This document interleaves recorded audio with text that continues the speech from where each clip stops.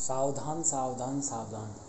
आप सभी से निवेदन है, जो भी प्रमाण घाट गंगा स्नान करने आते हैं, वो कृपया गंगा घाट में किनारे पे ही स्नान करें।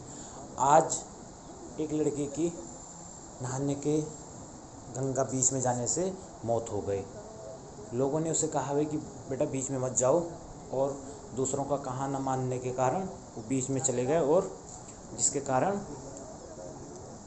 वो जल के बहाव में बह गया।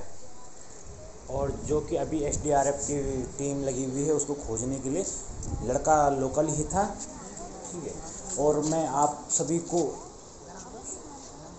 सावधान कर रहा हूँ कि आगे को ना जाया करें।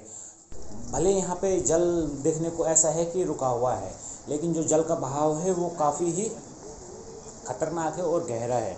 ये एसडीआरएफ के जवान लगे हुए हैं बच्चों को ढूँढने में।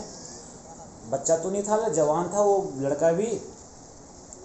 एक ऐसी आफत ना करें कि आपके घर वाले आपके लिए परेशान हों, ठीक है?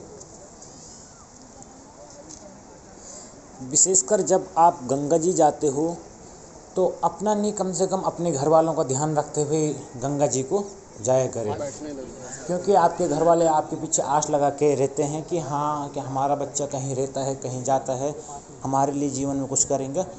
सो आपसे निवेदन है, विनम्र निवेदन है कि कृपया करके परमार्थ घाट में स्पेशल जो भी लोग स्नान करने आते हैं, ठीक है, वो सावधानी से स्नान करें। अभी यहाँ पे सतपाल महाराज ब्रह्मचारी जी भी आए हुए हैं, जिन्होंने अपनी थापा टीम बुलाई, जो मतलब लोकल टीम है, उनको बुला करके आप वो गंगा जी के किनारे छानबीन करेंगे, ठीक है। आपसे विनम्र निवेदन है कि आप कृपया करके गंगा जी को पार करने की कोशिश ना करें और गंगा जी में बीच में जाने की कोशिश ना करें। जितना हो सके उतना आप साइड में स्नान करें।